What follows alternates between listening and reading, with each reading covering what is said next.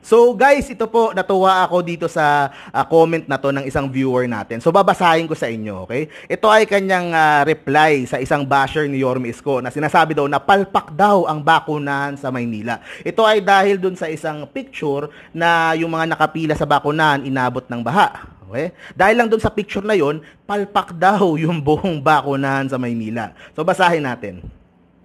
Di mo pansin bakit maraming gustong magpabakuna sa Maynila? Kasi leading by example, choice ng tao magpabakuna at pumila. Feeling entitled ka naman, gusto mo special kang KUPAL ka. Tignan mo sa kanila, more than 50% na ata ang bakunado na ikaw iyak pa rin ng iyak. So, ayun, napaka-savage nung kanyang reply sa comment section. So, good job, Sir Vin. Nakatawa ako sa comment mo, kaya ako binasa dito. Nakakatawa, ang savage eh. So, ayun, nakakatawa sa mga, sa mga supporters natin, sa mga viewers natin.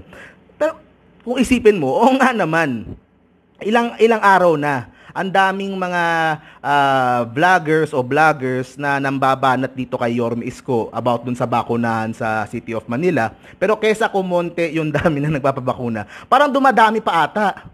Parang parang na-advertise ba? Dahil sa ginagawa nila, na-advertise na sa Maynila, mababakunahan ka. Pipila ka lang ng konti, pero mababakunahan ka. Actually guys, ito, totoong storya to. Ang daming tumatawag sa akin. Mga kaibigan ko, mga kakilala ko, taga ibang syudad, taga ibang probinsya, uh, Mark, paano ba magpabakuna dyan sa Maynila? Dito kasi sa amin, ang tagal, uh, hindi ako kinokontak. O doon sa iba naman, wala, wala na silang supply. O uh, paano ba magpabakuna dyan sa Maynila? Diyan na lang ako magpapabakuna. Yan, totoo yan, recent lang yan. In the past uh, few weeks, ang daming nagtatanong sa akin. Kasi, natatakot sila. natatakot sila, yung, yung Delta variant confirmed na dito sa Pilipinas. Kung matamaan sila at wala silang maski first dose man lang sa katawan, eh delikado. Nakita nangyari sa India, sa Indonesia, di ba?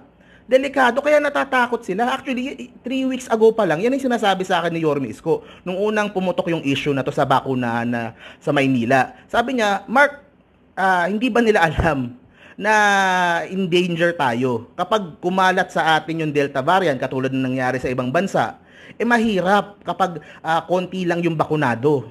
Marami na namang ma-hospital at mamamatay. We are in a race against time. Yun ang yun ang hindi yun ang hindi ma-realize ng mga nambabash kay Yorme Isko. Nagmamadali tayo. Gusto natin marami ang mabakunahan kaagad.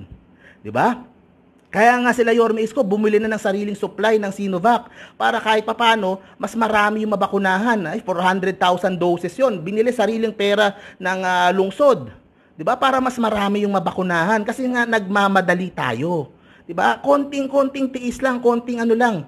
'di ba? Sa akin nga natitiis nga ng mga kababayan natin yung araw-araw na pila sa commute na ganyan. Oh. Diyan hindi sila nagre-react diyan. O pero natitiis nga yan ng mga kababayan natin, araw-araw pumapasok sila sa trabaho, ganyan sila uuwi. Ano pa kaya yung isang beses lang para protektado ka, para mas less yung chance na mamamatay ka? 'Di ba? So, yun ang yun ang hindi magets at, at yung lungsod ng Maynila hindi naman tumitigil para i-improve yung sistema ng bakunahan. Kanina nga nasa UST sila. O may panibagong lugar na naman ng bakunahan. So tuloy-tuloy lang. Parating ini-improve pero hindi tayo dapat tumigil. Dapat magmadali tayo na maraming mabakunahan. At yun na nga, lumilitaw sa bilang. Ang Manila, ayun, pinakita ko na to nung isang araw, sa pagdating sa second dose, number one ang Maynila kahit hindi siya may pinakamalaking population, di ba? Uh, mas mataas yung Maynila uh, sa second dose sa Quezon City, do ang Quezon City mas malaki yung population. Ang katapat ng Maynila sa population halos is Davao. Diba? Pero Davao, ayun, 45,000 pa lang yung nababakunahan. Pero pero hindi ko pupulaan yung Davao. Hindi ko din alam kung bakit kung ano yung mga nangyayari doon. Baka naman yung supply eh uh, kulang pa yung pinapadala doon for whatever reason. Kasi hindi dapat pinopolitika itong issue na to. Ang gusto ko, gusto ko din mabilis din. Gusto ko lahat din ng tao sa Davao mabakunahan. Gusto ko lahat ng tao sa ibang syudad mabakunahan. Nagmamadali tayo. Diba? Eh kung gagamitin nyo lang to para lang mag-score ng points laban kay Yorme Isko para umangat yung manok nyo. Diba? Pangit naman. Ang pangit naman. Ang pangit naman. Kasi buhay ng tao yung buhay ng tao yung nakasalalay dito. Ito, yung sira kayo ng sira. Pero yung mga tao, uh, dayo ng dayo sa Maynila para magpabakuna. 'Di ba? Uh, kasi kasi nga takot sila, takot sila na na matamaan ng Delta variant na to nang hindi sila protektado. 'Di ba? Ay, ay, mahirap naman turuan yung mga ibang syudad kung anong gagawin nila sa bakunahan nila. Hindi na hindi na kontrolado ni Yorme Isko yun kung ano yung nangyayari sa ibang lugar. Ang kontrolado lang niya yung sa city niya at yun yung napili niyang sistema para as many as possible kaagad ang mabakunahan. Para magmadali na tayo, tatama yung delta sa atin, posibleng tumama, maganda, marami sa atin vaccinated na kahit first dose. So, yun yung, yun yung point nun. Yun yung paulit-ulit nating sasabihin. And, yun nga, ulitin ko, huwag natin politikahin yung bakunahan yung COVID. Diba? So, pwedeng yung iba, ano nang ano, pero tingnan nyo, diba, kaysa kumunti, dumadami dumadami yung tao nagpapabakuna sa Maynila. Kasi nagigets nila si Jorme Isko. Nagigets nila na, eh kasi, kasi sabihin mo, ah, kawawa naman, pipila, pipila. Eh paano kung hindi sila nabakunahan? Naghintay sila sa lugar nila. Kunya, taga ibang syudad yan, naghintay sila sa lugar nila, tapos natamaan sila ng COVID. Ano ang mas masaklap? 'di ba? Yung yung sa pila na 'yan, naka naka face mask sila, naka face shield sila. So kahit pa paano may level of protection. Ganyan din naman sila pag nagko-commute araw-araw sa trabaho eh. Pag nakapila, pag nakasakay sa loob ng jeep, Ganyan din naman. Ito, isang beses lang nila gagawin para mabakunahan, protektado sila.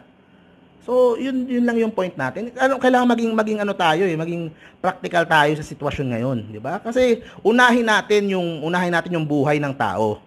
'Di ba? Yun yung uh, sabihin natin sa zona kanina ni Pangulo, sinabi niya, I have to make uh, decisions na minsan ay unpopular o hindi magugustuhan ng tao, pero sa ikabubuti nila 'yon. Di ba? Itong, itong issue na to, hindi gusto ng mga basher ni Yorme Isko. Pero alam nyo kung sino may gusto? Yung mga nabakunahan na. Kasi hindi na sila kakabakaba na baka tamaan ako ng COVID. Wala pa akong bakuna. Di ba? So yun, yun yung paliwanag nyo sa akin. Bakit mas dumadami pa yung nagpapabakuna sa Maynila? mga taga ibang lugar. Kahit nagtatrabaho lang sa Maynila o nag-aaral lang sa Maynila o mas iba nga hindi taga Maynila eh. Dumadayo pa sa Maynila. May kamag-anak lang sila sa Maynila. Diyan sila magpapabakuna. Diba? Kasi, kasi nga, ang si Yorme Isko, ang policy nga, ang gusto niya lahat mabakunahan as fast as possible. Konting tiis, konting uh, pila, pero ang kapalit naman, kapanatagan na mas may laban ka sa COVID kung sakaling tamahan ka. So yun lang. Yun lang, uh, yun lang yung point ko guys. Paulit-ulit natin sinasabi kaso hindi din sila tumitigil sa pambabash. Eh. Maganda lang yung nasasagot lang, okay? So yun po. So thank you very much po. See you po sa next video po natin. Stay safe po parate, Pilipinas. God first. Bye-bye guys.